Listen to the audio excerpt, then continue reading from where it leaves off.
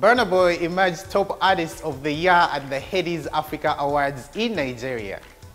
What excited us about the extravaganza was the fashion, and that's what we're here for tonight.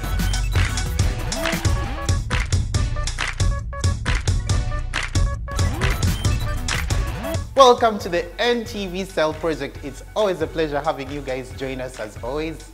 I am your host, Tazibon Solomon, and sitting pretty on the panel today is the gorge Bettina Tianah. Thank you, Tazibon. Good evening, welcome to the show. I'm so happy to be here. Let's get right into it. And our guest for tonight, ladies and gentlemen, multimedia personality Nikki Shilingi. Welcome to the NTV Style Project. Nikki. Thank you, Tazibon. It's always good to be around people with so much class and honestly, it's always a, an opportunity, so thank you. Uh, so we've always taken a lot of inspiration from uh, Nigerian red carpets lately. Why, why, do you think, Bettina, why do you think uh, us as Kampala people, especially given that we're going into award season, are basically drifting towards, you know, borrowing inspiration from Nigeria and South Africa? I must say Nigerians and South Africans are very neat when it comes to, you know, red carpet events from their hair and nails, mm. makeup. Mm. Their ensembles are always, you know, out of this world.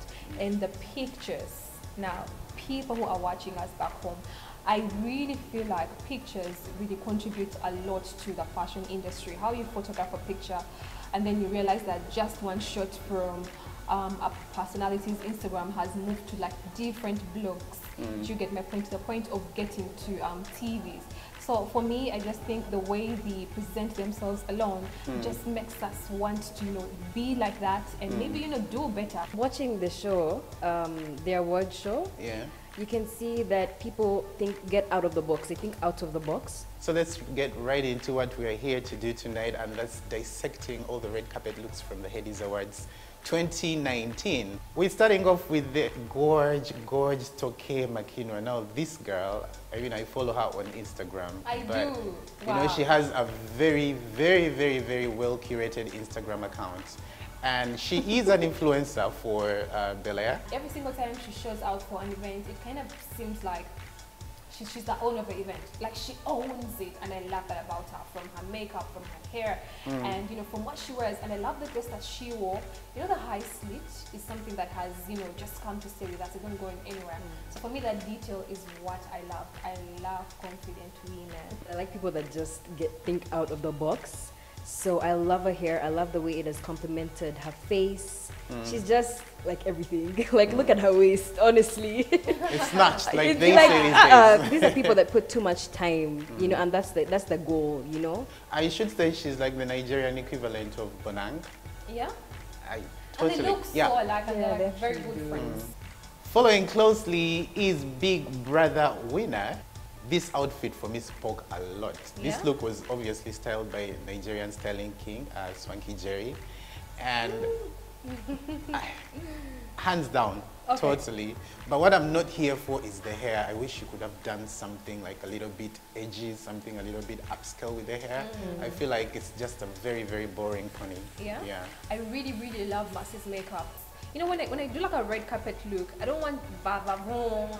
I just want something that is, you know, classy and mm. memorable. Mm. This look is something that I'll remember from this award show. I loved the cutout. Who knew such you know, a position for a cutout will just you know, take the dress to a whole other level because without the cutout, it's just mm. a black sequin dress. Yeah. But this cutout took it mm. to a whole other level. Kudos mm. to you, Swanky. Keep slaying us.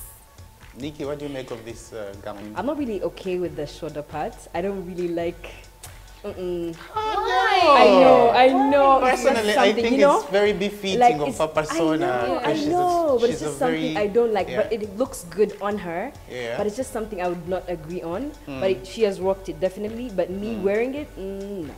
Who knew one would rock denim to the red carpet or to an event of this magnitude? It, it looks a little bit of mm. going to the club yeah. with the gang. this picture it's, it's just a good picture. Like a, like a photographer really did a good job. Mm. But take away the photographer, and it's just her with her denim. Mm. Something would, you know, not, not, not mm. come off right. Yeah. Mm. It definitely is a, is a, it's, a, it's a yes for me, especially given like as a stylist, I like the edgy side of things. But I don't know as to whether it was really, really befitting of uh, an event like the Headies Awards. Yeah, I also agree. This is more of an outfit for like a girl's night out, you know, just go out and slay, but not for no. Yeah. Mm. Even even that her um, companion, the guy who looks like whiskey, like so much, I still feel like this is something you don't take to a red carpet event. Okay, now when I look at this ensemble, I get Billy Porter vibe. But I feel the execution, execution, execution kind of missed the mark. First of all, when I look at this hat, it's, it's quite tacky, yeah? It's not like a polished hat. Oh my god, the shoes just do The shoes, I've been staring at the shoes like yes. they've taken my whole entire attention. I'm like, what's happening with these shoes? What?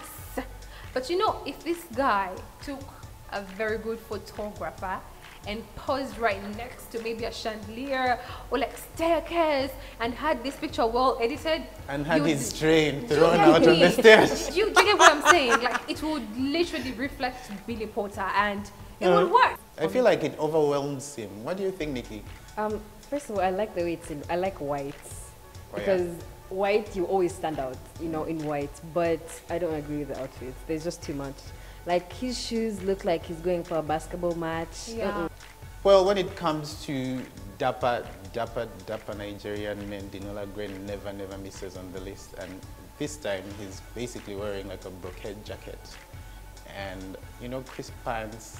But you know what I love about this look? It's very, very well, well put together. The execution of it, the way it fits his body, just for me is very, very amazing. And I love the fact that he thought out of, out of the box with the, you know, the accessory, the jewelry, because obviously, if you're not going to wear a shirt, you know, and because he's not a buff guy, I mean, a buff guy would, you know, uh, basically pull this look off without having to accessorize or anything in the neck. What I do not agree with are the pants. I wish you went for a darker color, let's say um, black, just to make everything, you know, well put together. Do you get me? But when you look at this whole entire look, the pants are just a little bit distracting. I'm sorry. I don't know what you think, Nikki. I actually like his outfit, Yeah? like from head to toe. You can see that he's a real fashionista. Uh, here's a tip for you for the ASFAs. Stay away from the tax. Give us something like this. Just play around with it like a tax, honey. No one even wears those to the wedding anymore. so try, you know, being creative, man. There are mm. so many ideas. And- this works for any kind of man. Mm. You know, a sports person, a, a media personality, any kind of man. So just be mm. open. Okay, now harnesses are a thing apparently because I'm getting to see a lot of men rocking harnesses Yes. these days. Now, Ike here, also styled by Swanky Jerry. Swanky actually got to style both Ike and, And Mercy. and Mercy. The couple. So I think he did a really, really amazing job. First of all, monochrome black and white always wins. Yes. And All right. this is really, really well put together. I don't know why he's on the phone while taking a picture. I mean, th- that's like so 20, 17 or something. Mm. Just get off the phone, pose. Come on. It doesn't really stand out, but you can see it's a bit, it's simplicity at its best. Well, well, well, who do we have here? I actually love everything about his suit. What I don't like are his shoes. They're a little bit boring. And then the kangaroo, uh, you know, cape. Um, you know, I just feel like there was a miss, you know, coordination with the cape and the shoes. Yes, they're trying to be a bit leather. And then um, the other gentleman over here, also from Big Brother Naija, not 2019. I love the white suit. It's giving me, it's giving me Miami vibes. You know, when you look at it, you feel like, oh, okay, are we going to Miami? And the detail on his shoes, that is so dope. Love it. And the beard, huh? Beard gang. I love, I love a man with a good beard.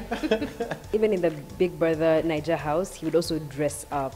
When is it time to dress up? Like, he, he really understood his body. Honestly, when I look at the picture, I only see Mike. So I don't know why people do that. How do you post a picture? It's like, it's like, but Bettina and I posting a picture and everyone is looking at Bettina. Like, no. yeah. Well, I believe the head is where BBNaija affair because we're getting to see all the BBNaija alumni mm-hmm. like reuniting. It's a reunion of sorts for me. Mm. Here we have Tacha in fiery red. Now, this look for me is just contrived. It looks like, you know, this creative was basically just trying too hard. I would have preferred the sleeve to be a little shorter and flared, but it just it just looks like not a lot of thinking went into this dress, honestly. when you Really? Look at it. Yeah, I feel like I just love how all Nigerians have mastered the fact that if you if, if it's a red carpet, you need to slick the hair back, let them let, let the dress do the talking, let the mm. attention, you know, go to the dress, and have subtle makeup, because it's, it's a way to be classy. I don't really think I agree with the shoes. Not really. Like, I don't really like low heels, honestly. Like, I feel like if you're in the red carpet, you have to be extra everywhere. Well, as we wrap up this segment, who makes it to your best dressed? I would say Mercy. Yeah, so she really mm, killed it for me. And uh, for the men, um, I would say Ike. I loved how different it was. That is something that is so cool, so 2019. So yeah, those two were my best. Nikki? Um, I also agree with Bettina. I, lo- I loved um, Mercy's dress. Like, it made her look like the money she's got, yeah? Um, the male best dressed, um, I, I, do, I would do Mike. Oh, yeah? Yeah.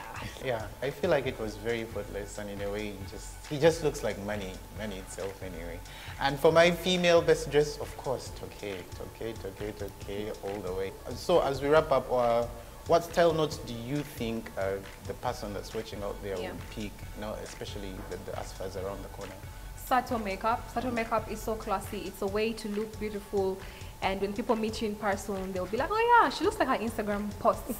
And also being creative with the hairstyles. Your nails look, you know, pretty because you're going to be on the red carpet. Look at these people. Look at all the people we just critiqued. I feel like they go an extra mile in, you know, investing into the way they look, mm. apart from what they're actually gonna wear. Yeah. Yeah. So grooming for me goes a long, long, long way. I'm with you on that. Well, let's take a quick break for now. We will be with you in a jiffy. So not go away.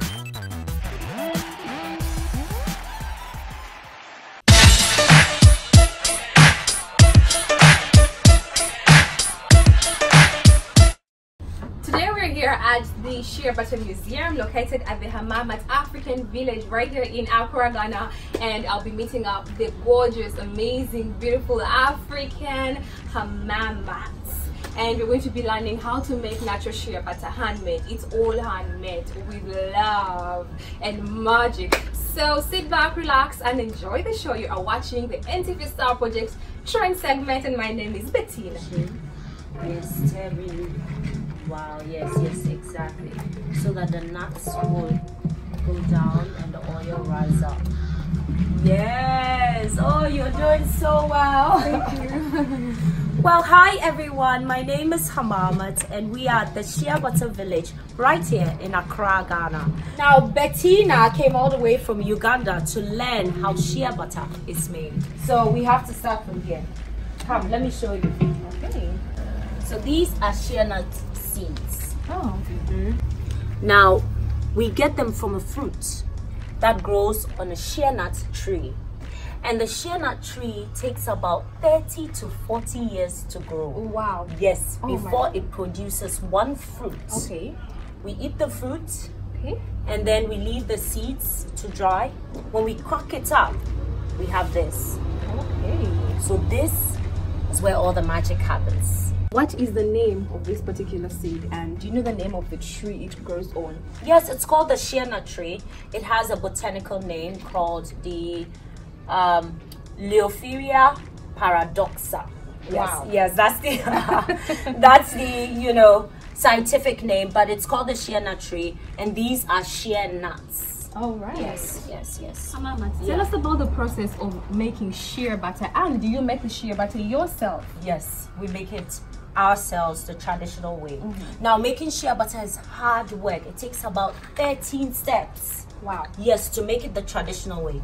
But you know, with time and education, it has been fast forwarded. But this is a simple way. Now, when the nuts are cracked, the mm-hmm. best is selected mm-hmm. and then it is washed and dried. After Okay. it's dried, it is crushed. Let's go So to the next. So this is washed and yeah, dried. Dried.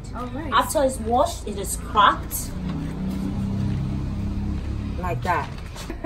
Do you think like people can put this on tea and drink it? Yes, it's very healthy for the neck, Okay.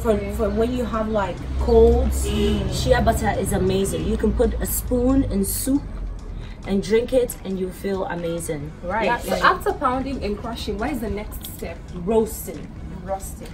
So this is how we roast traditionally. This is the utensils or the equipment that we use to roast. You normally have to sit somewhere there. I want you to try it. Come. Okay. All you do is turn. Okay. Yeah. Woo, like that? Yes. Okay. You can stand. You can stand? Yeah, stand. Turn. Yes. So that's the nuts roasted. You have to keep turning. Okay. And turning. What is the importance of roasting the nuts? This makes it easier for the oil to come out. You know, because all the oil is in the nuts. When it's roasted, it looks like this. Okay. It's brown. And you can actually see some particles of oil, right? Oh, It's like okay. shiny. Okay. Yeah. So after the roasting bit, what comes next? Grinding. Grinding. And we Okay. do this the traditional way. Okay. This is how we grind traditionally. You squat, you just put the nuts. Okay. Yes, and then you put the stone. And then Can you try? Yes. Let me try. Here. Uh, oops. Careful. okay. So It's the hard work, huh? so I have to put the nuts here Yes. and then carry this. Yes. Like that. This is Am I yeah. doing it right? You are you are doing it right. Exactly. Why why do you prefer grinding, yeah, Uh-huh. to soften them instead of boiling? Because boiling also helps in, you know, softening Yes. hard particles. Yes, it does. But the thing about boiling is that sometimes it destroys the nutrients Okay. and the vitamins that live in this wonderful butter. And when it does that, it just becomes butter, not shea butter. Oh, okay. So we have a time that we boil it, but it's only for a little while.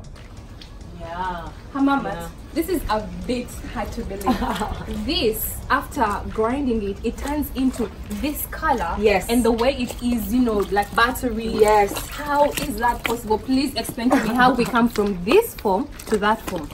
Well, I, I, I did tell you that shea butter is magic, and, and this is one of the stages that it shows that beautiful magicness. Now, um, these are the grinded nuts. Yes. They look brown, but when you put it in water and you knead it with your hand, I, I think that it's because of the energy. You just keep kneading, the butter rises up. Okay. It separates itself from this.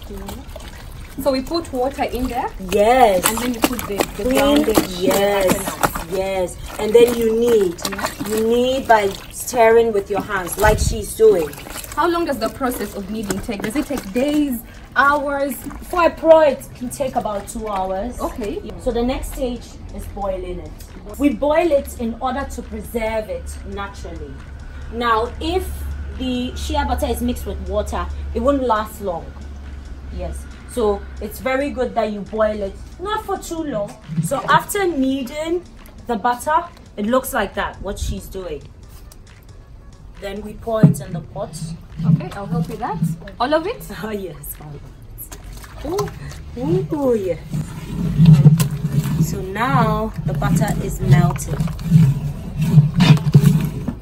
Can I try? Yes, You have to keep stirring. you have to keep stirring. For how long? Um, for as long as the oil rises up, because you don't want it to burn.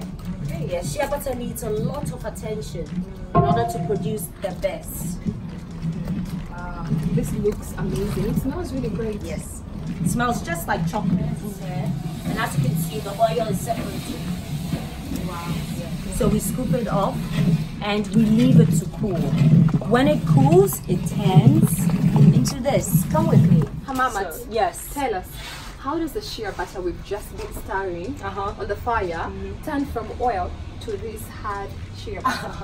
Okay, so that is a really good question. Now, how that happens is that when we have the oil, we keep it in a cool room. So when the room is about maybe 70 because it's quite hot in Tamale, um, it turns into this. This is natural, pure shea butter. Smell it. it smells really good. Mm-hmm. It smells really good, but a lot of people have this perception that shea butter stinks, which is not true at all. bad shea butter stinks. When the shea butter is not done properly or when it's too old. Some people, you know, shea butter doesn't expire. It can stay for years. It's just that the vitamins and the minerals will reduce. So if someone is is selling you shea butter and you smell it and it stinks, it means it's bad shea butter. This is our final product. Okay. We package it into glass because glass keeps the nutrients, it keeps it fresh, and it keeps your skin glowy. Yeah, yeah. So you can smell this one too. It has a different smell. You smell the herb in there. Yeah, I can smell the Yes, Yeah. it's really good for mm-hmm. healing. Wow. Yeah. So that's the difference. Let me apply some of this on you. You can feel it. Try it. Try it on your skin. Spread it. See how it is. Yes, it's very smooth. It's very smooth. Most people very use shea butter and it's hard. And it's hard. Shea butter, actually- shea butter is a healing oil. You know, shea butter started um, the oil. How they found the oil was by cooking. The oil was initially made for cooking, but now years later, it's mostly used for beauty. So it has a healing property, and I believe that it comes from the way it takes 40 years to grow. Can you imagine? That it's in the years. ground for 40 years before a fruit pops up. So it has sucked so much good energy. That's well. Yes. You know, 40 years. Yes, that's, that's really health. well. Yes. Health. And then when it comes, the women are kneading with their hand, transferring energy into this. Hey. Yes, that's how we believe in our shea butter as healing, as a healing product. It smoothens the skin. Yeah. Yes, shea butter will smoothen your skin. It's very good for wrinkles. Okay. Yes, it keeps you Looking young. young. Absolutely amazing for babies. The other time I saw you on your social media, on your Yeah. Instagram handle, and you're using it to massage your tummy. You were having some um, period cramps. Yes. Tell us about that. That's the safari. Because it has the healing herb in there, it's very good for cramps. Okay. So if you're the type that has cramps and doesn't like to take medication or you know the chemicals, you can just put safari shea butter on there and just rub. So people want to know back home, how can they order this amazing product? Oh yes, I can't wait for this to get to you. Um, you can order on hamamats.com, Okay. uh, but we just opened up in Uganda, so you can order at hamamatsuganda.com and you get freshly handmade shea butter Yeah. from West Africa. So my absolute number one beauty tip is shea butter, pure natural shea butter. It is a great anti-wrinkle and very good for under eye. All you need is just a little bit every day after you wash your face before you go to bed. Top it right under your eye. And you say bye-bye to saggy eyes. Well, it's always a swell time with you right here on the NTV Style Project, but as always, time is not on our side. I've been your host, Tazibon Solomon, and this show has been shot on location at Abraham's Collection, the flag for Fashion Forward Men. The ASFA 2019 Fashionpreneur Summit is on this Saturday at Kingdom Kampala.